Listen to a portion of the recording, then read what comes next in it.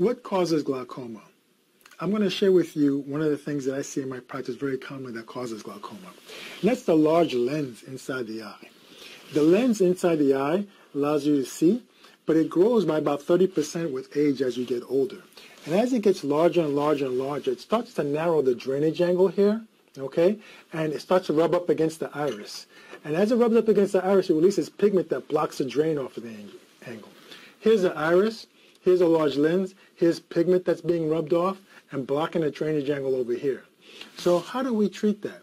My approach to glaucoma is by taking the cataract out and replacing it with a lens. And look what happens. When you take this cataract out and I put an intraocular lens in the eye, the drainage angle opens much more. Okay? The intraocular pressure can go down by about five points alone.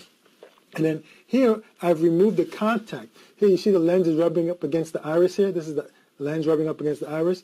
There's no more contact when you have an intraocular lens here, and your vision's better. And then this pigment that's blocking off the drain, at the same time that I do the cataract surgery, I'll put a stent in. This is a Hydrus stent that bypasses the trabecular meshwork, opens up the canal, and restores outflow to the natural drain of the eye, the aqueous veins, the natural drain of the eye. So this is a paradigm shift in glaucoma. 20 years ago, I was treating glaucoma with eye drops to lower the pressure, but people still got worse because it didn't address this mechanism. Laser treatment can lower the pressure, but doesn't address this mechanism.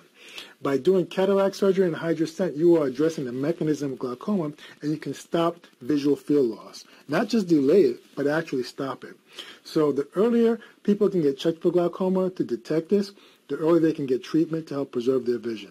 It's very important to get an annual eye exam once a year to get checked for cataracts, glaucoma, make sure you don't have any retinopathy, take care of your eyes and your health. Thank you for your time and attention.